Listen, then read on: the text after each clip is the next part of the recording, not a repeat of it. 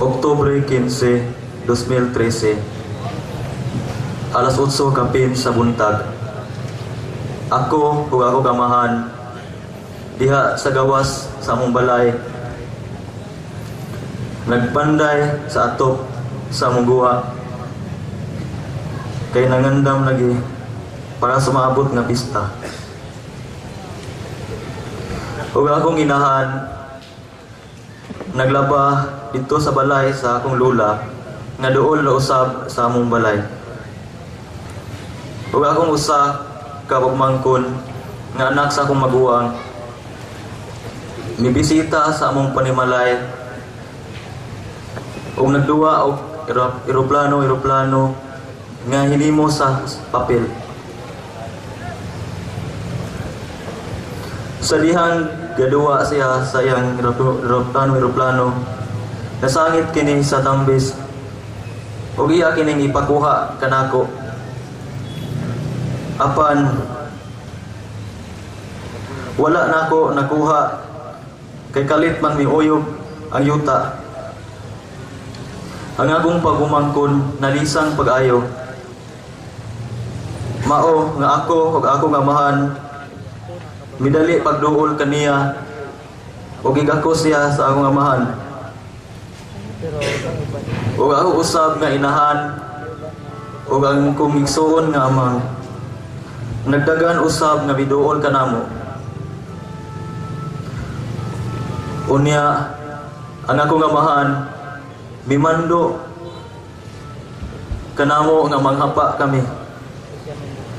Ug mihapa kami kay mikusog man ang pag-uyog sa yuta apan wala lang usab namo damha ang wikalit lang og liki ang yuta nga among gihab-an. Ug maoy hinungdan nga akong tatay akong nanay ang akong magulang. Ug akong pagumangkon wala na sila karon uban kanamo ako ni ato gayuna nalipong nabungol ug nakuyapan ug sa dihang nabalik na ako sa akong panimuot akong nabantayan nga nalubong ang akong tiil hangtod sa hawak. Unya ako gaharag ug nagkulog sa yuta.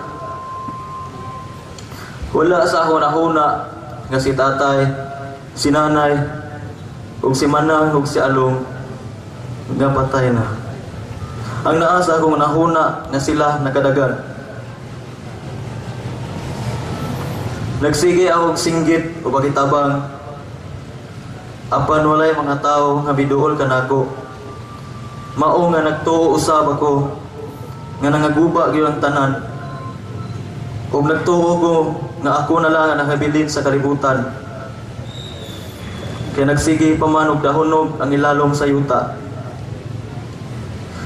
Mao nga ako lang ginahinayan ug wakli ang mga bato ug anubog nga mao'y nakatabon kanako apan giabot ako sa kaluya nga mao nga nakahuna huna ko ug pagkamatay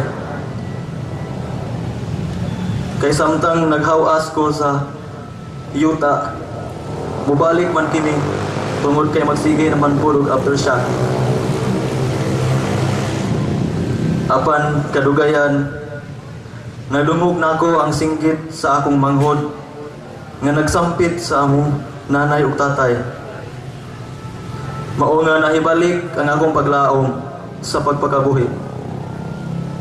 Ug matod sa akong lolo nga mo'y mitabang sa akong manghod sa paghawas kanako nga mga alas 10 kadto sa buntag. Ug kaluoy sa Dios nauas nila ako mga alas 2 na sa hapon apan sakit panandungon. Kay sa dihang hapit na ako mahawas akong nabantayan ngang tiil sa akong tatay diha di ay nabangil sa akong tiyan. Mao nga nakaingon ko nga si nanay si manang ug si along naapod sila sa ilalong sa yuta nga sila wala di ay makadagan. Unya Miabot ang akong kuya, amahan ni Along nga gikan sa Tagbilaran, kay nagkuha og mga materyales para sa paghimo ng mga basket.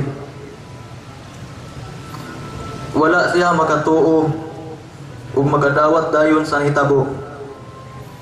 Mao nga iyang gikalot ang yuta nga mitabo ni tatay, ni nanay, ni manang ug ni along. Pamasin nga sila buhi pa. Apan kay nagsige pa man gihapon ug aftershock. Mo nga lisod kaayo ang paghawas nila kay mutabon man pagbalik ang mga bato ug anubog. Mao nga hapon na sa sunod adlaw silang tanan nahawas o mga silingan namo nagtinabangay og himo og lungon. Ug silang tanan wala na mahitsura nga among gisulod sa lungon ug gilubong dayon. Sakit handumon apan daghan usab nga angay na akong ipasalamat sa Dios. Una, akong nakita nga among mga silingan tinuod gayud di ay nga mga silingan kay wala sila maguguli sa pagtabang namo bisan pa sa ilang kahimtang nga nagkinahanglan usab sila og tabang